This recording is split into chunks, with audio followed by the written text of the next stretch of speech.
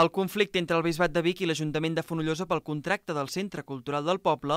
continua aixecant polseguera, després que l'Ajuntament de Fonollosa i l'entitat cultural del poble denunciessin la voluntat del Bisbat de Vic de rescindir el contracte per queixes de sorolls i molèsties dels veïns que viuen a la casa rectoral, ara és el Bisbat de Vic qui ha dit la seva. Segons ha pogut saber, Canal Taronja, fons del Bisbat aleguen que en el burofax que el bisbat va enviar a l'Ajuntament de Fonollosa s'hi deixava la porta oberta a continuar la relació contractual, però amb un nou contracte, un nou contracte on es reculli una definició clara d'usos i horaris permesos al local. En el cas que l'Ajuntament de Fonollosa es comprometi a complir amb els horaris d'ús del local que s'acordin entre totes les parts i que es respectin les normes de bona convivència en totes les activitats que s'hi fan, la parròquia de Fonollosa i el Bisbat de Vic no veuen inconvenient en mantenir vigent